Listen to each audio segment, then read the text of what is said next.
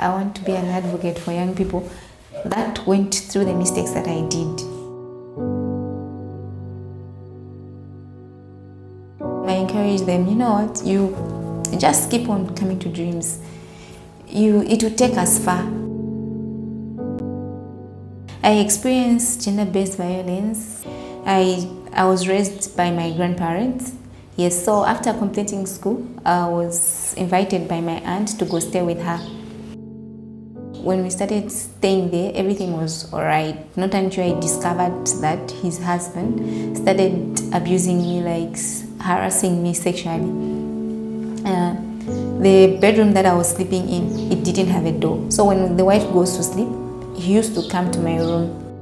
I used to scream, but the wife never used to come out. My only solution was to run away from that place.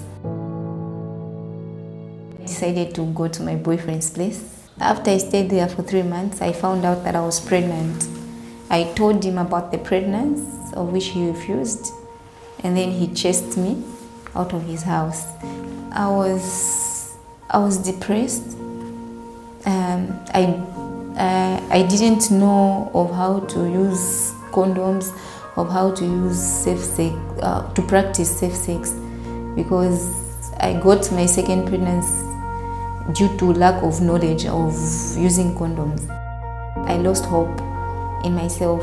I thought mm, being rejected by two men and then having to be a single mother at a young age, I never thought I would go far.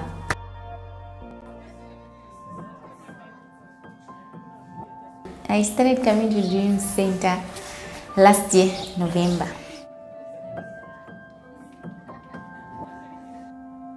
Apart from testing, apart from family plannings, I also went through mental health, mental health services here.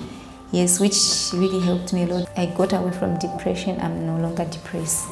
Yes. So if the biology is high, They were teaching us on how to how to prevent yourself from getting HIV, how to prevent yourself from getting early pregnancies. So after I learned all those things, I got interested saying, I this is the knowledge that I needed all along. If I knew this way back, I don't think I, would, I was going to have two kids without fathers. Dreams has helped me. I've been empowered. I have to negotiate for sex. I have got that right as a woman to negotiate, saying, if you want sex, let's use a condom. If you don't want to use a condom, no sex, because I want to protect myself. In this, our community, a lot of girls are passing through what I passed through. And then they don't have that knowledge of the knowledge that I got from here. As youths, we don't want to accept that HIV is there, HIV is real. So I'm helping them saying, even though you're young, being found positive, stay on medication, life still goes on.